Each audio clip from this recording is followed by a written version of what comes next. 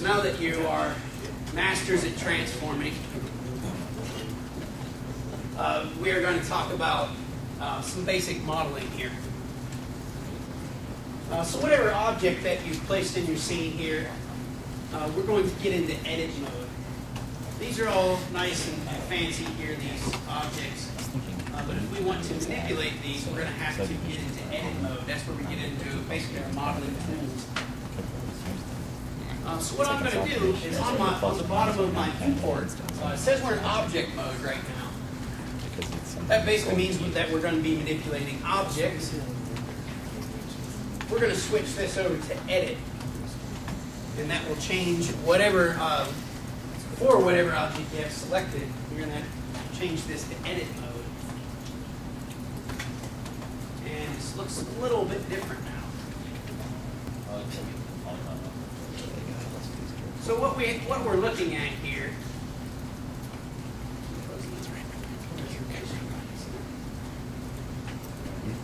uh, what we're looking at are sub-objects, or objects that make up an object. Uh, and we are dealing with vertices, edges, and faces. And that sounds very complicated, but they're really all the same thing. Uh, switch back to my 3D view here. We get into vertex mode. Uh, you can change your modes right down here. It's right after your uh, move, rotate, scale commands or vertex, edge, and face mode. All 3D object is made of are these little points in space. Uh, these are called vertices, or this one is called a vertex. Uh, and those points that you graphed in your math class, uh, that's exactly what these are. Only they have three coordinates instead of two, because you're not mapping them on a plane anymore, you're mapping these in 3D space. So this is a vertex. These little guys that connect these together are an edge. Uh, and then after you have three or more of these guys together, you get a face uh, or a polygon. Uh, and face is short for surface. So that's what can be shaded then. So that's uh, how these guys are built. That's the, um, the Cliff Notes of the Cliff Notes version. But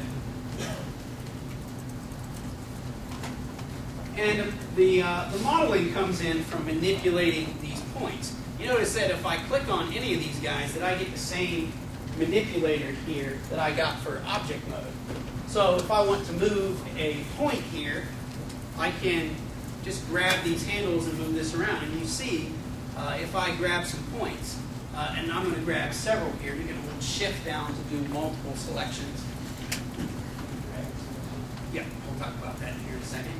That as I manipulate these points, you see it's manipulating the surface. So this is the basics uh, of modeling. It becomes a little more complicated.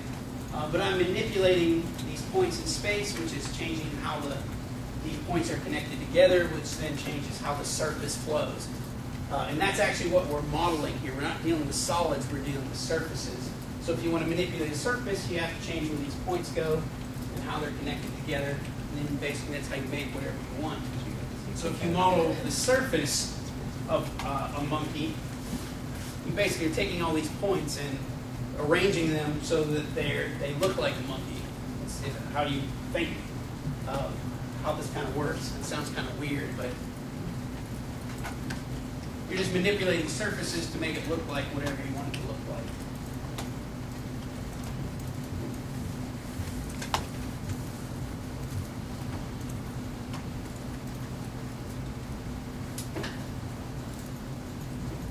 Uh, there are other kinds of selections here. Uh, you, you, don't have to do hold shift and select multiples. Uh, B is box selection. Box selection. Uh, C is circle selection. Those come in handy if you're going to select multiple things. You still have to be in edit mode to do this.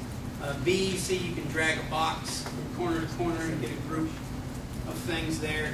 Uh, the C button or, or circle selection does give you a circle, but it works like a paintbrush. Uh, you will hold left click, and you basically just, whatever you paint on will become selected. Uh, and then you can roll your cursor or your mouse wheel up and down, and that will change your selection size. Uh, and if you hold the middle mouse button, it will deselect your paint. So that's kind of a fancy tool for selection, comes in very handy. How do you get that stuff done? Um, I don't think you do, actually. You get rid of it. Yeah. Yeah, That's, that's the next thing is A, the A key is select or deselect all. Uh, that stuff is under select as well down here in the menu. Do they have the circle box in here? Never used it. Yeah, they do have those down here. So there's circle under select, there's, um, border and circle select down here on the menu. Those college instructors, they can't remember CP. Uh, the last thing, um, and a really, really important thing for polygon modeling here that we're going to be doing, uh, is loop selection. This is always fun. I'm going to deselect everything by hitting A. If I hold Alt, the Alt key, and I click on an edge, what that's going to do is select all of the connected points here in what's called a loop. Now loops here don't actually have to loop, they don't have to connect back to each other. If it was a circular object, say like a cylinder or something, then it would, it would connect all the way around. So this is going to be very important for what we will do. So that is Alt click on an edge. Uh, if you click on a point, uh, it can go either way, whichever way it's feeling like going. So it, you want to click on an edge when you do that. So these lines in between. You just sit with it all the way around. Looks like. Yeah, you can you can hold shift. You can go crazy with it.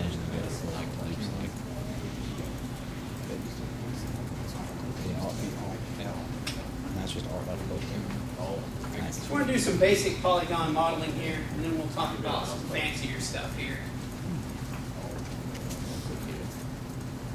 Uh, we're going to talk about local view after we make an object. So let's go ahead and uh, we're going to make a copy table for our room here. So what I'm going to do is I'm going to get out of edit mode so I can change it down here. And It is also the tab key for you guys that have been using keyboard shortcuts. Tab still is uh, toggle. And I'm going to get back to my camera so I have a point of reference here. Uh, that's member number pad zero. We'll get back to my camera. And I'm going to place uh, the, basically the beginnings of a copy table down here in front.